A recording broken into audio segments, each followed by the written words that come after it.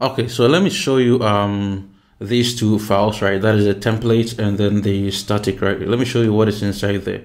So if I go into the home, this is what is inside the home.html. Okay.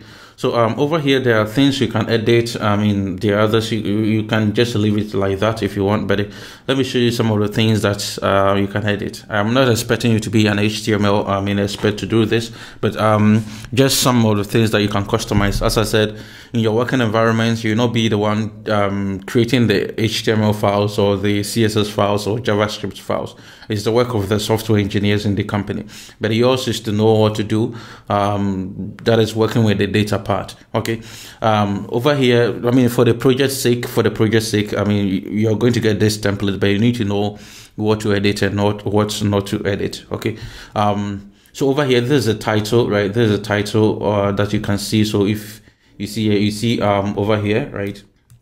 You can see that we have um, this title here, right? Netflix recommendation system, right? So that um, particular thing is what you can see over here. So you can change it, right? Maybe if I change it to uh, maybe um, let's say let me change it to Amazon.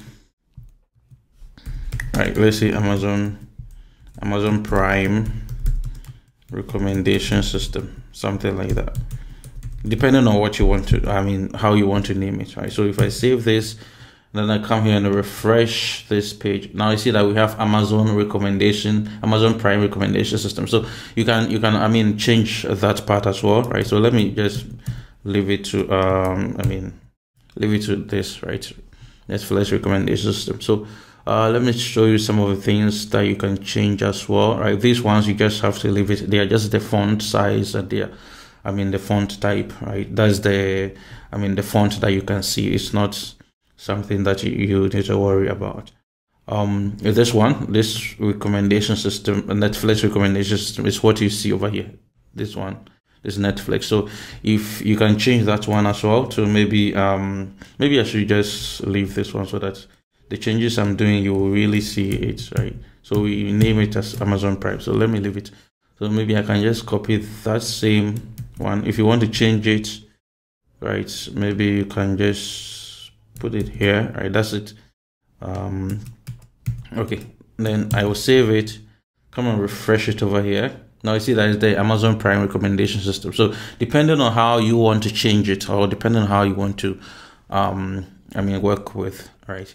I mean how you want to name it and what you are working with. Now as you see this search over here this is the search button. That you see that there's button here. Is, is in a button um tag. Okay. So you can just change it. So if you see over here is search right? You can maybe change it to something like say enter right? If i refresh and then come here see that it has changed from search to enter. Okay so that's something that you can change. Um this one this is the message. So, sorry try uh, another movie name. So that is the error message. We saw how we can change this one earlier on right?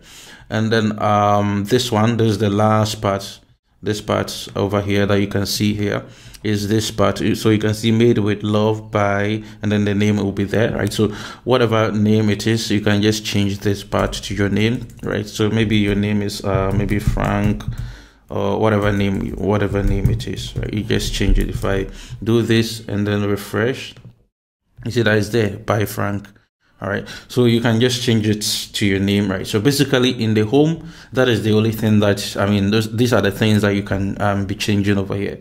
Right? these are the things that you, you can be changing. So let me undo all these stuff or maybe just leave it right? Let me leave it so that you know the changes that we have done so far. All right